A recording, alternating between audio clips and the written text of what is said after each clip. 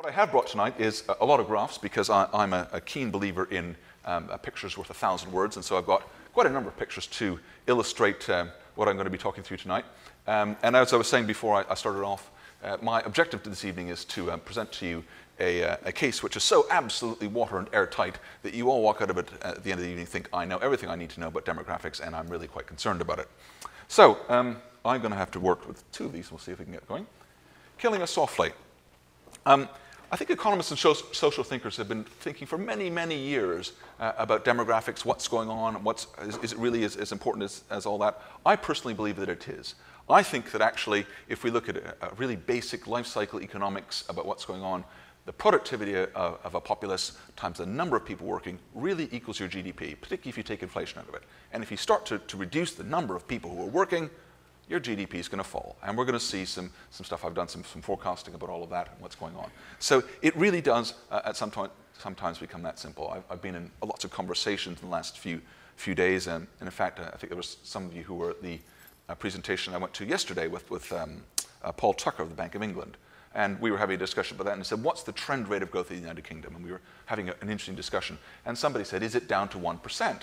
And uh, as we'll see in my, my presentation, I said, actually, it seems that we are at an inflection point in demographics, and the bad news is that it could be 1% if we don't do anything. And Paul Tucker said, well, actually, you know, we looked at it the last few years, and it doesn't seem to be coming true. The, what, de what demographics is suggesting should happen hasn't come through yet. And my view was, yeah, but these are big, long-term shifts. I don't care if it doesn't come through last year or this year, it doesn't mean it's, you know, we're going to create more people of working age. We're just not going to do that. So anyway, we're going to come through lots of things uh, tonight, and um, hopefully I will be uh, through and, and, give lots of time for uh, questions as we come through as well. Um, one of the things as an economist that I really like about demographics, and Michael was alluding to it, was, was just how predictable it really is. I mean, as an economist, you, you get a, a constant reminder of um, just how much um, humility you should have in any forecast you might be giving. Because, of course, um, we've all been giving these forecasts and said, I'm, I'm, absolutely hand on heart certain this is going to be the case, and it just doesn't quite work out in the way in which you like. Demographics is great because, for the most part, it, it's more predictable than many other uh, parts uh, of the economy, and certainly economic indicators that have come on. Um, so, so we'll go on and we'll look at some of the things that are demographic. So where are we now? Um, I like this map because, of course, it gives an idea of if the world was uh, organized in the size of uh, your populace as opposed to um, uh, geographically, this is the size of, of, the countries. And you can see um, the country that I was born in, Canada, really pretty small. The UK, much, much bigger than that, which probably tells you why Mark Carney is going from Canada to the United Kingdom. Um, because actually, from a population point of view, of course, the UK is more important. And then other countries, which haven't done so well in turning the large number of people into uh, more productive um, uh, parts of their economy. So you look at in India, parts of Africa, um, and we'll be talking about some of those in just, just a little bit as well. Um, so where are we now? I'm going to go through a few concepts here just to, to really introduce you to some of the things that de demographics are looking at, uh, and then we're going to start to, to look more at some of the um, uh, implications of all that as well. These are some pretty standard charts that are given. Uh, do we have a pointer? Is, is there a pointer thingy? I, am sure I can, I can make. These are uh, in this case, it's always uh, the males on the side, the females on the side, slightly different colors. You see there's the children and then the retirees. And what, what this shows you is the way in which the world, these four here and the UK over on that side, you can see the way in which things have grown over the last, there's the world in 1950, 2010, so right about now, 2050 and 2100. You can see how much fatter we're getting. So when people say to you, you know, we know that there's more old people in the world, that, that the dependency ratio is rising, it clearly is. Um, you can see, in, in a, if we look, look at the extreme here, the number of people who are both old and young, depending upon the number of people who are working, has increased quite markedly. And you can see why when people started to divide, uh, design the original welfare state way up here um, in 1950, it all worked. There weren't very many old people. You could be really generous with them. Um, if we move to now, we've got a bit of a problem. If we move to 2050, we've got a lot of a problem. Um, and by the way, you can see also here, oh good, I, I'm mic'd up. You can see over here, um, this obviously is the world, and you don't really see the, the effect of the war, but you can see the effect of the war here very, very clearly. The effect of the war is not, in fact, um, one of people getting killed. It's really of babies not being born. So you can see clearly a little tick in there uh, of the, uh, the, the, deaths, but a much bigger um, uh, push is in um, a few years later, which is, of course, the fact that lots of people were away and unable to uh, start families, and that's a bigger uh, kick effect. And we'll see that the implications of that uh, as we go on uh, over the next uh, few minutes. So, um, if we look and say, okay, that's, that's where we are, how many people are we having? What's, what's happening to the fertility rates uh, going on in here? So here we've got global fertility and GDP. This is, this is sometimes called the, the fertility paradox because, of course, um, as you become richer, you should be able to afford more children. And clearly, as you become richer, you don't. Um, as you become richer, you have many, many fewer children. So you can see down here um, the, the number of children and the income uh, of people. And it doesn't surprise you know, what, what intuitively might be the case, we all know in practice isn't. Uh, and you can see a lot of very, very poor countries. Clearly, they're having children both uh, as an insurance uh, policy uh, against old age. They're having a lot of children because um, uh, they, they, they, may or may not have um, good health care and, and other things, so a lot of those children will be dying. Lots of reasons why. I think the interesting things to happen coming out of this are number one, if you look at places like Hong Kong, by the way, Singapore is not here, which is the, sort of the other city state that we want to look at. But if you look at Hong Kong, very, very, very low fertility there. Um, much, much lower than you might expect. The UK, EU, um, pretty average. Uh, USA, a little bit higher. Um, some of the data from the US is a little bit skewed because, of course, they don't separate it out uh, to, to, different groups. If you looked at um, the US in terms of um, uh, long-term indigenous population as opposed to newer immigrants, you get a much, much lower uh, birth rate there. So the US being skewed slightly by the fact that they've had a, a large immigration um, coming through on all of that. Um, What's also interesting is the way in which, uh, I've not got a chart on this, but um, you look at the number of births per, per woman, and actually they've all been falling. The, the um, European Union and uh, the US, uh, the, the long-term indigenous population in the US, around about 11 per thousand in a five-year period. So around about just, just around two, two children per woman. Um, and there was a, a period of time around 2000 when this was thought to be actually getting quite a bit worse. And you looked at it and you saw countries like Italy down at 1.3%, people well, well below uh, um, uh, reproduction level, and all sorts of, of, of uh, straight line forecasts. I personally dislike straight line forecasts intensely. I think a lot of economists do them. Um, I've even seen some economists manage to sell straight line forecasts, which always amazes me that anyone would buy something that's simplistic. That's simplistic. But um, people were, were, saying things like, well, within a, um, a few decades, we're going to see Germany being larger than Russia. And you think, well, uh, it's not quite as simple as that. What we do seem to have seen is that um, a fair number of women have um, delayed childbirth. And so I think we probably lived through a period in which uh, women got on with their careers and they are having their children, they're just having them about five to 10 years later than the generation before them. So we have some, some, evidence, uh, some evidence of that.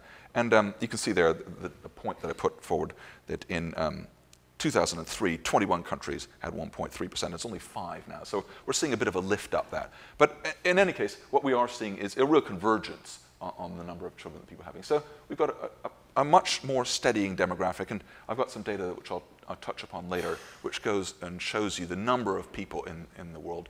Um, and we are now at, at a number of, of turning points. As I said, the, the, the, one in the UK of what's happening to a working age population. Another turning point that we happen to be at right now is that for the very first time, it's taking longer to achieve the next 1 billion people in the world than it has taken at any point up until now in human history. So we're actually seeing uh, a lengthening. It was, uh, the first billion people took, um, uh, from moving from 1 to 2 uh, billion people took 123 years. Most recently, I, I, can't remember the numbers, we'll come on to them in a moment, but it is actually starting to lengthen out. So that's what's happening to fertility.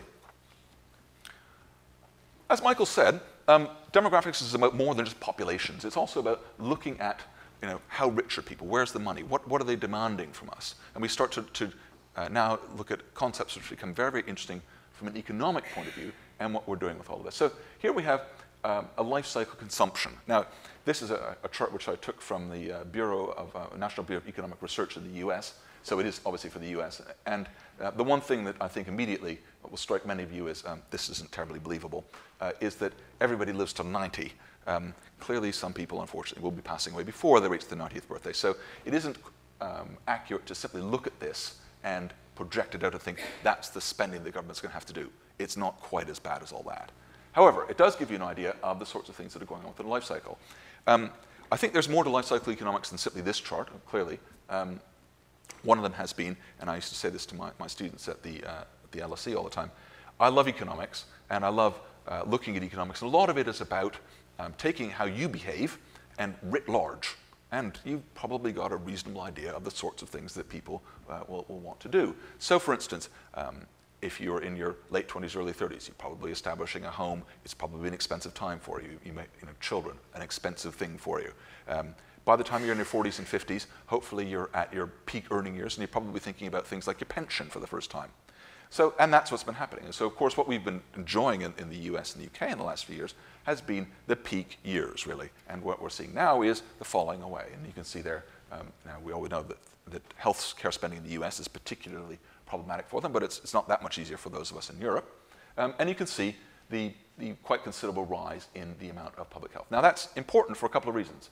Um, one of them is that we know that the dependency ratio is rising. The dependency ratio is the number of people who are depending upon, um, in one way or another, whether they be children or old people, uh, depending upon those of us still in work. So the question becomes uh, if you have too many people depending upon not enough workers, can you continue to afford it?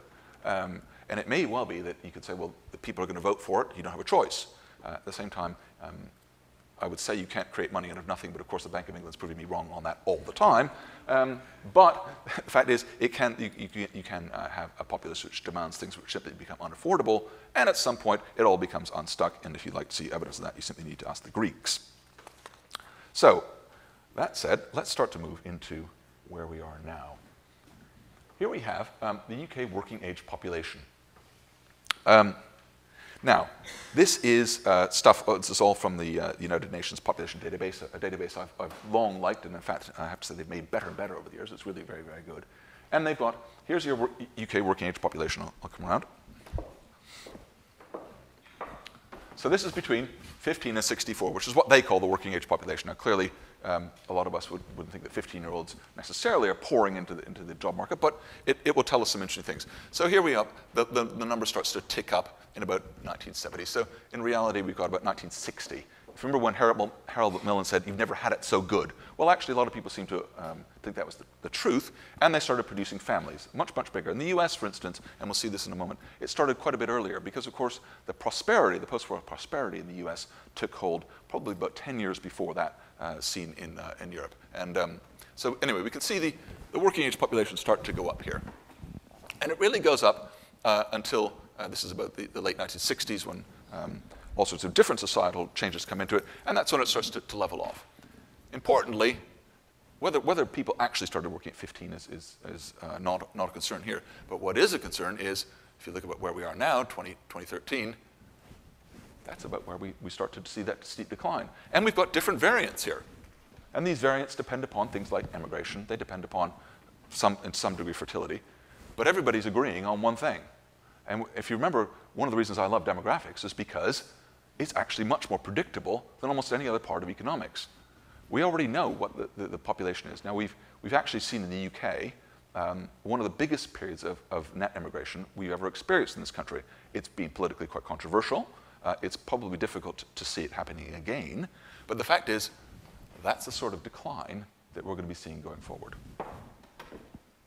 So, what's all of that going to mean for us? Because clearly, it's one thing to say we've got a, a decline, um, it's another thing to, to start to, to, predict some of the things coming out of that. So here's your working age population, productivity versus GDP. Now, if you remember a moment ago, I talked about the whole idea of um, uh, an economy growth in very, very simplistic terms. It was your productivity plus how many people were working. Now, if we see in the, the previous chart, yep, if your economy is growing as it was, um, the number of people coming into the economy, whether they be because the indigenous population has got more people entering the workforce, or because um, uh, you've got immigration, you've got a, a, very positive effect coming through here. It's not the whole story by any means. Most of the story is about people getting more productive in their work. And we, we know that people have a, a trend rate of productivity that people, all of us, get better at our work by about 2% a year.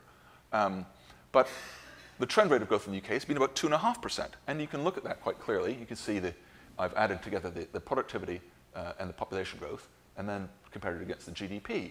Now, the GDP is, is a, um, a figure generally derived out of, VAT receipts, so it's a consumption figure, and the productivity and the, and the population is, is a, um, uh, an output measure. So you can see the two match pretty, pretty well, uh, as you'd expect. Um, as you'd expect. So many times in economics, what you expect doesn't actually happen. But in this case, it was, it was rather gratifying that you could see quite clearly the two were um, very, very closely correlated. And if you said, well, what's productivity? and it's about 20%. Uh, sorry, uh, the productivity is 80%. So 20% of the growth that we've seen over the long term has been due to the fact that we've got an expanding population. So big, not the whole story, big, uh, important. Um, and more recently, we've, we've, had the last few years where, where, as you saw in the previous chart, um, we've reached something of a plateau. Um, and so we weren't seeing a growing working age population. Um, we were just sort of muddling through. But I think there's also been bigger issues uh, within the economy as a whole. So um, the last five years have clearly been uh, pretty, pretty dramatic um, for those of us in the financial sector, for everybody else in the, the economy as a whole. Um, and I don't think you've probably seen the demographic uh, implications being at the forefront of what's been driving the economy uh, going forward from, from, there. So th there we've got uh, some idea of what's been happening in the UK. What's been happening in the rest of the developed world? Well, you'll see cl clearly here, um, pretty similar, really. Um, you can see the, the, baby boom, and it comes at different places for different people. But es essentially, the, the effect of the war, and if you remember those charts, those sort of bulging charts I showed you earlier uh, about the, the fact that children hadn't been born because men were largely away, um, that was really, really being driving an enormous amount of um, uh, demographics across uh, the, the, all of the European uh, Union. It's interesting, I, I, haven't put it up here, but uh, if you look at countries like Ireland and Sweden, where there wasn't a war, uh, or where they, where they weren't in the war, um, they're very, very different. They're much, much flatter. They haven't experienced the same sort of of, of gyrations going on with all of that. So, um, and you can see again the US taking off, this sort of orange colored line. Uh, it starts to expand a, a, bit before everybody else does. Um, and the key to all of this, of course, was um, not the return of soldiers. If you look at the actual data in the 1945-46, there's a little bit of a spike up as you know the, the, boys got home and immediately started to produce families. But the real thing is, it's all about economic prosperity. So um, people felt good and they started to produce children in a way that they just hadn't beforehand. So what's happening in the rest of the world? Well, here we have BRICS. Um, I'm not just sure that BRICS are necessarily the best explanation of, of uh, emerging markets, but they're the one that everybody seems to use, and Jim O'Neill is making sure that we all remember it was he who, who put it forward. Anyway, we got the BRICS, and I put the, the world here just, just to show you um, what, how they, they produce in, in, uh, against that. Um, demographics have been a really, really positive boost for them as well. I'll just uh, digress very, very briefly on one country in particular because I think, it's extremely interesting. Ireland. Ireland, as I said, didn't go into, um, uh, we all know, didn't go into the Second World War, um, but uh, when it left uh, the United Kingdom in 1922, they went into more or less a, um, a very, very long-term recession. Pretty, 1922 to, one can argue, to 1982. A couple of generations of very, very poor economic growth. And during that time, they saw uh, enormous amounts of um, uh, net emigration away from the country. Um, eventually, eventually, they got their act together and they started to have uh, what was obviously known as the Celtic Tiger, and they did very, very well. It's interesting looking at that as they grew because um, one of the things that the Celtic Tiger really, really helped on was they started to have a demographic boom. And if you look at what Ireland did during that period of time, they had uh, an enormous number of young people entering the workforce. Now, we know that you can have an enormous number of young people entering the workforce and not do anything and, and underperform economically. Um, and we've got examples of that. I mean, I think the most depressing case, to be honest, in the world is Egypt, where the population growth is, is rapidly outstripping any ability to um, uh, provide for them economically, with the result that actually they're getting much, much poorer, almost um, uniquely poor amongst countries that once were uh, sort of middle ranking. Um, but Ireland has done very, very well. And we'll come back onto that uh, in, in a few moments as to the, the sort of hierarchy of how countries expand when they, when they finally get things right. Anyway, back to the emerging markets. We can see here. Now, if you remember, it, yep, here, fairly, fairly dramatic falls, but nothing, but nothing like the dramatic falls that we're seeing here. Now, a lot of people who, who go looking at the emerging markets will tell you pretty quickly, you know, one of the reasons that, that people who are um, very positive about India in comparison to particularly places like China, one of the reasons they are positive about that is because of the demographics. And you can see here that sort of purple line being, being India and the steep falling, collapsing line being China. Now that's about 1% a year for China. That's, uh, well, the, the working age population drops by half of 1%, and so it goes from a positive half to a negative half, so 1% drop a year. Now, if you're growing at 11, 12%, and somebody says, well, you're dropping half a percent, well, it's not that big a deal, is it? But everybody is also expecting China to be growing. And in fact, there are arguments right now that the Chinese government is trying to, to get a broader range of growth and therefore is pushing or holding growth back on purpose um, for part of a, a, bigger plan. and that they're aiming at sort of 6% growth. And all of a sudden, if you are seeing a working age population falling by 1%, 1% of 6 is a lot bigger than 1% of 12. So China is facing a demographic problem of really catastrophic proportions. Um, and um, along with that, they've got a whole, whole trend of, of urbanization, a real moving of, of, of the, the, poor into, um, into the cities. So some, some big, big things happening within the, uh, the working age population as well. So I've described a lot of problems. I wanted to come on to some of these solutions. Um, it's not all inevitable. Uh, and um, the, the, the, stuff I've said, you know, the, the, falling number of people, that, that I think pretty much is inevitable. But we can do things about them. They're just not terribly easy things to do. And there will be some painful things. And undoubtedly, some of you will pick me up in the questions and say, yes, yes, but this really isn't possible. We can't, because it's just going to, too many people be hurt and too many people won't vote for it. And thinking, right, well, if you want to create more people to, to be workers, that's fantastic. And then we can, we can come around to solutions. Anyway, what can we do? One is to retire later. We'll come on to that in a second. yep. Uh, one is to improve aut automation and productivity. Uh, we can improve our workforce participation rates. We can improve the workforce flexibility in what we do. And finally, we can accept stagnation.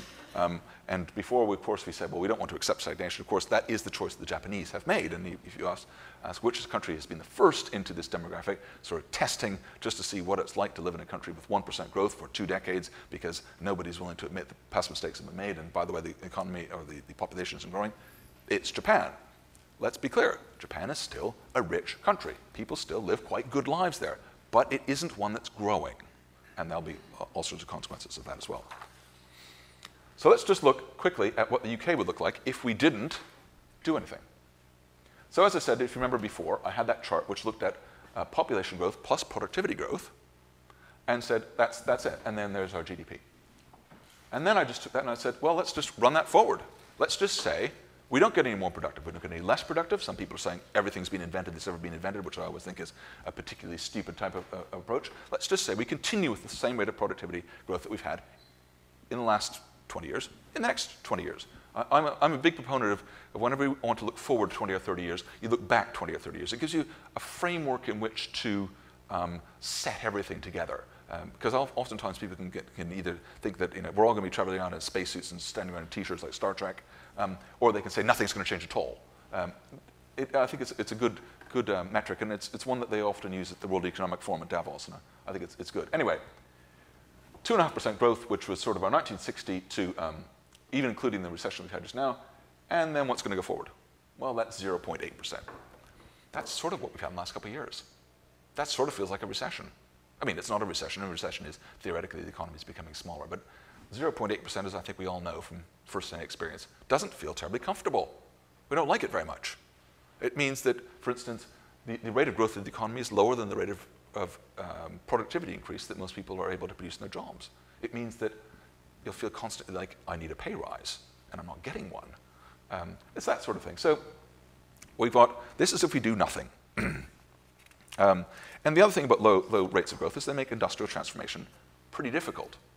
One of the things that um, I think is really positive about if we see, for instance, um, the way in which IT has come into India and places like that, is that old ways of doing things are changed by new industries coming into an economy. And um, if you don't have new industries coming in, um, it's much more difficult to undertake those, those sorts of transformations. So that's, that's the sort of down, downside. So what are some of the things we can do to potentially get around that? The first one, of course, is retire later. Um, this is something that both the last government and this government um, have been working upon. Um, some of you may recall that the Labour government decided that um, uh, the absurd situation in which women both lived longer and retired earlier than men uh, was um, being reversed, and they were going to equalize the retirement age and then raise it. Unfortunately, they decided in order to make sure that nobody was ever hurt by this, they would take four decades to do it, um, which is probably somewhat longer than I would have done it if um, James Sproule, the radical, had been in charge. Anyway, um, that said, it's not the be all and the end all here because I wanted to, to look at this and I was looking back at Lord Turner's report of, gosh, about six or seven years ago now uh, and, and seeing what's the evidence of this, retiring later. It helps, but it's not the answer. It's not the whole answer, certainly. And you can see there, here's the, the old age. Um, and you can see what happens if you get people to retire and you move the, the retirement age up. It's, it's better. Not as, the dependency ratio isn't as high, but it's not going to be the solution to this whole problem. Also, by the way, interesting to see the number of children. So the, the, the long-term projections are the number of children to remain, uh, as we were discussing earlier. It's moved up to about the replace, replacement rate, and it just sits there. Most families, two children, pretty, pretty normal.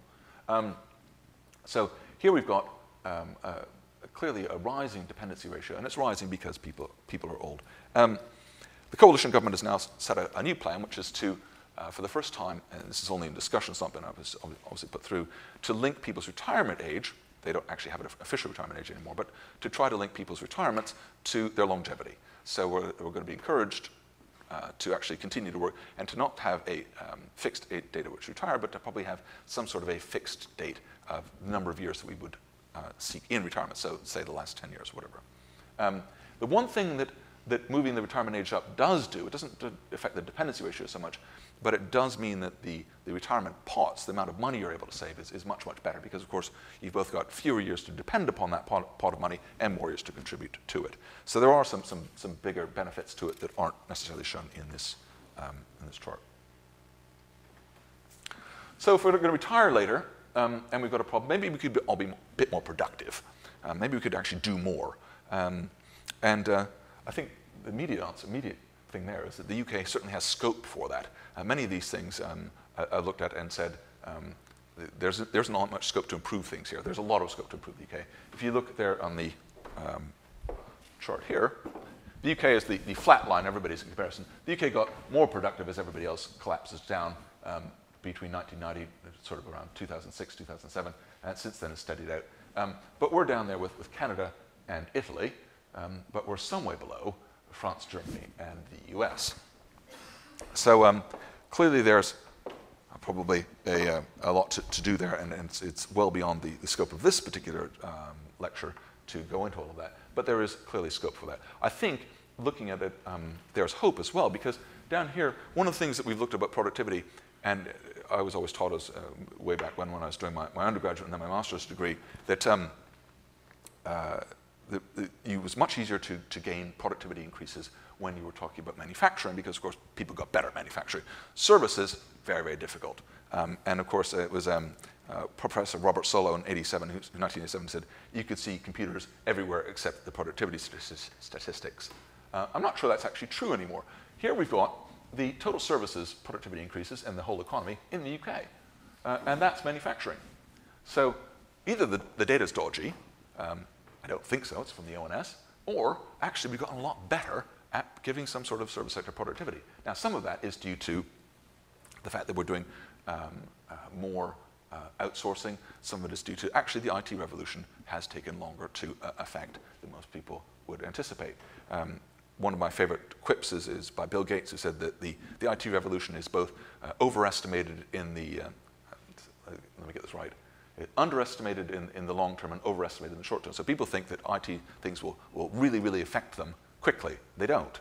But they also do really affect you in the longer term. And it takes a long time for companies to figure out how to use IT effectively. And I think that's really the case in a lot of the service industries coming through and, and all of that. So, um, if, if we seem to have overcome the, the idea that service sector productivity is, is difficult, um, what are some of the other implications of that? I think productivity, I've got two slides on that one because it's a particularly important um, uh, area for me. Um, so what have we got here? And I think this is also extraordinarily important, uh, particularly this, this chart here, because um, one of the things we'll also hear is, well, you know, older people, they're not so productive, and, you know, how is the economy going to, going to respond to, to older people? And in fact, if we look at, I've just set this 1993 to 100 on the thing, we look, what's the productivity by age? Actually, 50 plus is doing really well. The people that aren't, aren't so productive are, are your youth. Um, now, for those of us who are a bit older, bit more cynical, that might ring true. Um, but actually, the, data, the data backs that up, and I thought extre extremely interesting what's been happening there.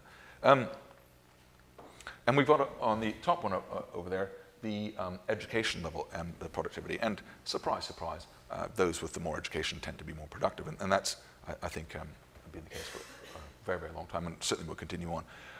One of the things about um, the retirement age, uh, which probably uh, reflects both in these charts and, and, the previous ones, is that um, we talk about people retiring and what age they retire, and traditionally 65. Of course, one of the things that we've had over the last 20 odd years has been many people taking early retirement. Um, that, I think, as a trend, is probably going to be reversed quite, quite quickly. And um, the, uh, the reason that one might want to raise it from 65 to 70 or more very, very, very rapidly is because actually the, the, the anticipated age that people say 65, and then if they get to 50, uh, say 55, they think, well, feel slightly guilty about retiring. But by 60, they're thinking, okay, um, maybe I can retire now. Um, if we raised it to 70, the, the hope, um, I think for many people, including myself, would be they'll at least work until 65. Right now, they're not even working to 65. Um, and I think we've got a, a, chart later that shows the earnings uh, capacity and all of that. So um, part of the reason to, to, delay is just to, to get people to, to push it back uh, at, at, some way. Okay, so if we're not going to, if we're, if we're going to become a bit more productive, a bit better educated, thankfully older workers do seem to be, seem to be very productive. Um, a bigger service sector economy certainly helps with productivity. Older workers have much easier time with the service sector economy and being productive within that economy. What are some of the other things we could do? Well, one of them is to uh, improve workforce participation rates. I've not looked at unemployment here because I think unemployment is a figure that tends to get skewed, not so much in the UK, but I mean, wildly skewed in parts of Europe. Um, and it's actually better. And what we're really concerned about here is not unemployment. We're concerned about how many people are out there working to produce stuff to keep the economy going because what we're worried about is the number of people within the working age population, and so we'll look at the, the um, uh, employment rates. And we can see, we all know that Germany's having a, a very good time uh, economically in the last few years, and you can see the German um, employment rate going up there quite, quite markedly, and the UK being pretty high already. Um, so, and the UK employment held up remarkably well in the last few years, despite the fact of the recession. It's one of the, the, the curious things about this, this downturn has been many economists, including myself, would have predicted much higher um, uh, unemployment to come up. But companies have been slow to restructure, and that slow to restructure has, has at least had the advantage of um, keeping lots of people in employment. So, um, looking at the uh, employment rates and what's going on with all of that, and, and unsurprisingly, countries like Greece have I've, I've, stuck them not obviously because they're major, but because it can show you what ha happens when things go very, very badly wrong. From, from a not terribly uh, heroic level, but 58%, uh, they're now down to about 54% of the people employed within the country. And that, that's pretty appalling. Um, what, what have governments looked at in all of this? What, what are governments focused upon? Um, governments tend to be focused upon long-term unemployed. And there's all sorts of reasons why you would want to focus on long-term unemployed as a, as a politician. However, I want to make the argument that actually that's probably the wrong thing to focus on here because what we're really concerned about is not unemployment per se. We're concerned about getting people into the workforce and getting more people into the workforce because we've got a, a shortage of people to keep the economy going.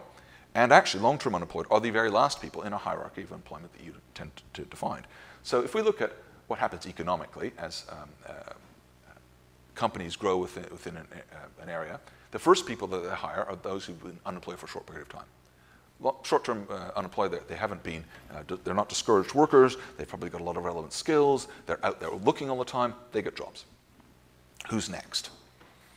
New to the labor force is actually next.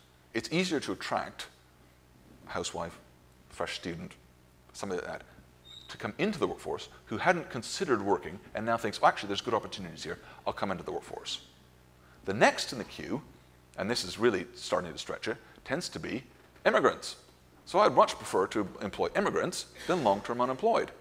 And particularly if the immigrant has some sort of a connection. Now, a lot of this data that I was looking at comes from studies that uh, I did a number of years ago on uh, the Irish economy, and clearly they had a diaspora that left. That diaspora came home before they started to employ long-term unemployed. only once, the, in the Irish case, the, the boom had been going about eight years did they start to employ. You see any real movement in the long-term unemployed. That type of a hierarchy of employment gives you an idea of how difficult it is to, to employ long-term unemployed. So my, my encouragement for, for governments and policymakers here would be you can have programs for the long-term unemployed for all sorts of good socioeconomic reasons, but don't think that's going to be the thing that solves the problem of the, the, the demographic problem. The demographic problem should be a, addressed through a different thing, which is to get more people employed, and probably not all the focus is upon um, the, workforce participation rates. Finally, um, let's look at uh, getting some uh, improved workforce flexibility. I think there's two things that need to come, come through here. And a lot of uh, people have talked about uh, employers and the way in which they need to, to get with the picture and employ older people. Um, B&Q, of course, is, is, the forefront of this, but, but who else can we point to and say, that's a company that really wants to employ people, um, older people within the economy. Not that many have really focused upon it. I think that that's absolutely true. Um, but I think there's more than that. And I think the other thing is employers, or sorry, the employees need to start looking at that. And they don't, um, the, idea that people have some sort of uh, long, slow, gradual increase in their in income to the age of 65 um, is wrong. It's going to have to change. And people have to start to say, actually, towards the end of my career, I have a variety of, of incomes or, or of jobs, and I'm not paid as much at the age of 65 as I was at 55. That's the way it goes. It doesn't mean you're not going to be paid anything. It doesn't mean that you're not a productive member of society. It just means that people have to get used to a cycle, which means um, up and down. Gordon Brown should, should, remember that when no more boom and bust in his economic cycles. It means both. It means up and down. And that's probably the sort of thing that's going to happen. So that's one thing that's going to come through in all of this. A second thing is, if we're looking for people to keep the economy going because there's not enough wealth being created, because there's not enough people to do it, there is a, a, another part of the economy which could, um, somewhat more controversially, be tapped to supply some of that. And that is the public sector, which, as you can see here, has grown quite considerably. It has shrunk down in the last couple of years, um, but it's still employing about 25% of people in the country are employed in the public sector. Now, if the, the economy as a whole isn't generating enough money, one has to look at what and how are we going to shift people around to make sure that they are, um, uh, the economy as a whole is generating that wealth. Rather than consuming the wealth through, through taxation and therefore paying into the public sector, there is an argument to say, look, people can be shifted from less productive to more productive jobs in, in that manner. So, moving towards my conclusion, um, what are we going to do? We can plan to retire later, which I think we should certainly do. We can drive up productivity, which we'd all like. It's difficult, but we'd all like to do it. We can get more people working productively, probably a good idea. We can embrace agility, or I'm not sure this cartoon really works, um, but it's saying, you know, or we can decide to retire in 2065, um, which is to say, we can enjoy a much, much lower standard of living. Now, um, I'm here at Gresham College and I'm here in the City of London, and I thought just before I, I, I conclude, I'm going to come on to um, uh, one particular area which I find very, very interesting, uh, which I think is, is really relevant to those of us who live in London, and is a big, big demographic trend. When I was doing all of the reading for this, uh, for this lecture and, and putting it all together, um, uh, one of the big factors that people were looking at um, and saying that this is going to be changing is urbanization. I love this chart. Uh, it's not a chart, it's, sorry, uh, it's a picture. It's taken by NASA at night, and it shows the world at night. And so you can see where people are.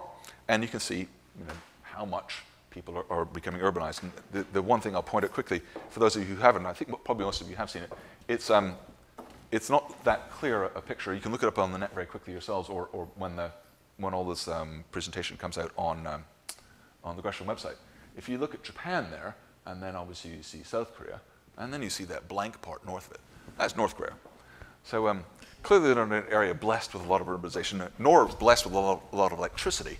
Um, but what we're seeing here is, is urbanization. So what, what's, what's been happening? Well, in 1800, about 3% of the people in the world lived in, in, urban areas, so not many. I mean, London was obviously here, had been around since Roman times, but not many people lived in cities, most of them were rural.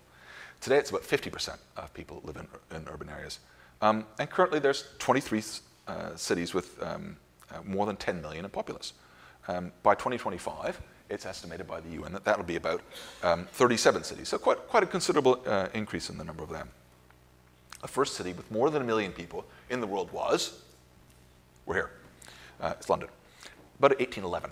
Uh, and, and we were the biggest. We're still the biggest in Europe, and there is a, a bit of um,